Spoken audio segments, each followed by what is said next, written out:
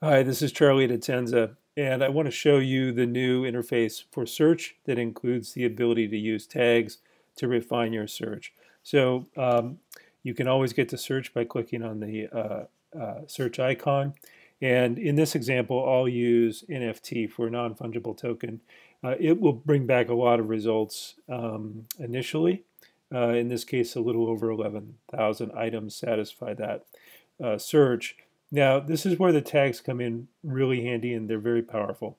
If I click on Show Tags, this is now showing me the uh, most frequent tags associated with those results. So you can think of it as having uh, facets or um, uh, subsets of the uh, of the uh, of the uh, underlying content exposed that you can select.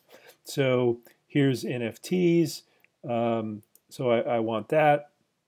And I also uh, see non-fungible tokens, so I want that.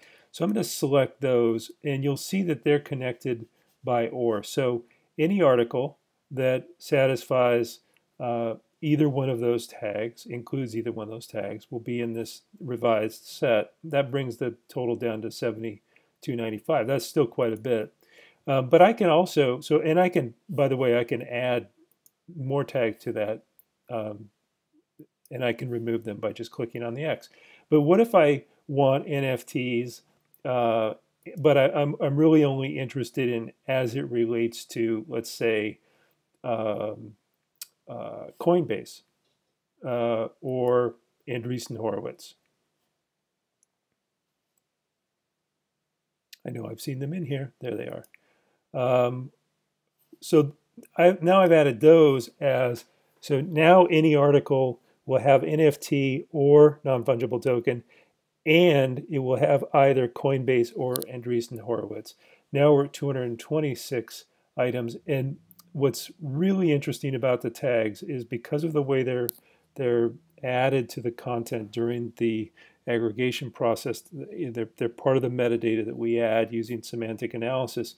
They're they're very powerful and very accurate. Um, so it's a great way to refine your search, and it's also a great way to create a topic because I can create uh, a topic from this search and then have the updates automatically delivered to me uh, whenever there's anything new.